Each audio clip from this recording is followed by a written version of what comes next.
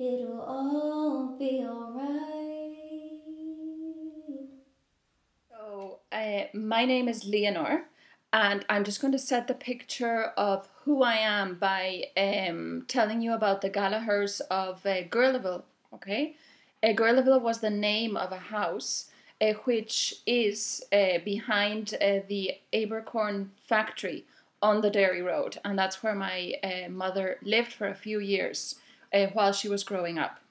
And she told me that the first Gallagher of Gurleville was Paul Gallagher, and he was a manager of the Abercorn shirt factory.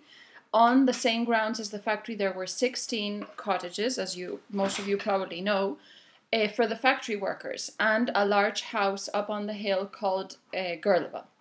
And Paul Gallagher bought the lot around the year 1900. And uh, Paul Gallagher was a widower with a son called Alfie. And he remarried a young lady from Belfast called Margaret Egan. And they had six children. Uh, one of those uh, children was Willie, my grandfather, who married Rose Bannigan. That was my uh, grandmother. Linen was the focus for the Industrial Revolution in the north of Ireland, with engineering, trade, and infrastructure developed around the requirements of the industry. When uh, my mother uh, phoned uh, the, her family in Strabane in 1969 to tell them that she'd met a Spaniard and that she was going to stay there and marry, uh, they had a general nervous breakdown. In 1809, somebody wrote a description of Strabane in the Belfast Monthly magazine. I must speak of the inhabitants of Strabane with respect and gratitude for their kindness and hospitality.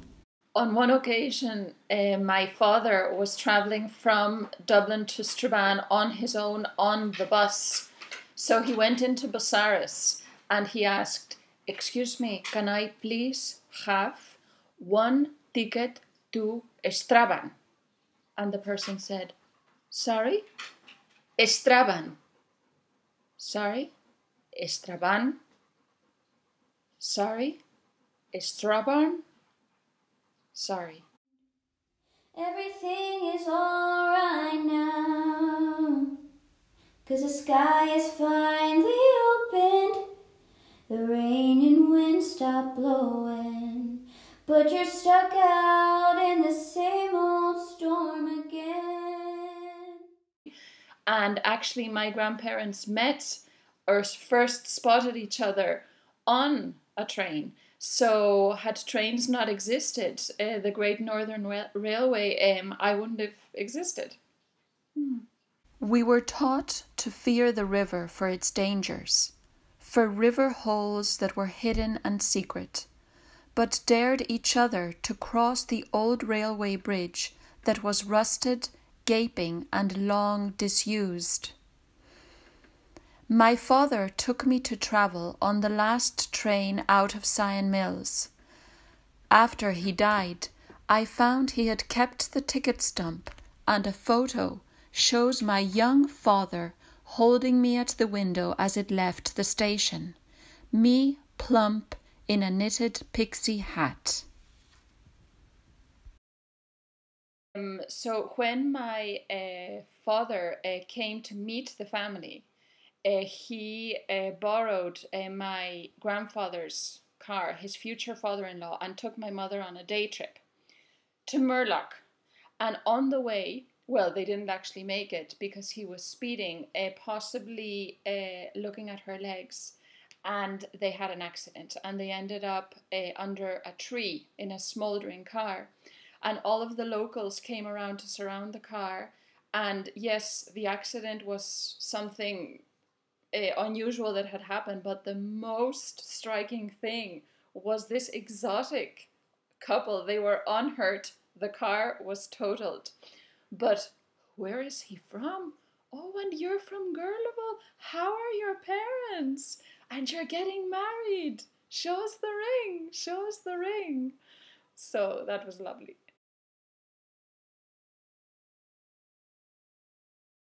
uh, walking into the town, um, holding my grandmother's hand, um, and going over the bridge end, just the the the, the, the there's a, a um a sense in Strabane that I get every time I go over that bridge, and uh, I relive that moment, and um, I'll just never forget it, and I just love uh, going over uh, the the bridge end. It's it's full of significance for me.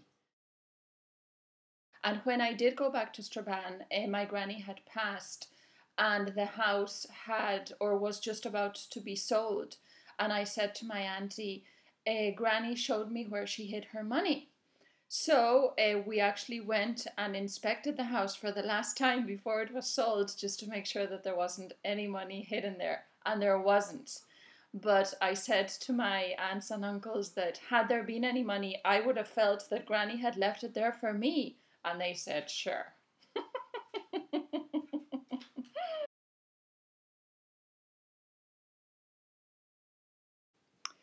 my grandparents, uh, Willie and Rose, uh, married in March 1939 in the Sacred Heart Chapel on the Derry Road in Strabane, where they are now buried. So tie up the boat, take off your coat, and take a look around. Everything's alright now, cause the sky is finally opened. The rain and wind stop blowing, but you're stuck out in the same old storm again.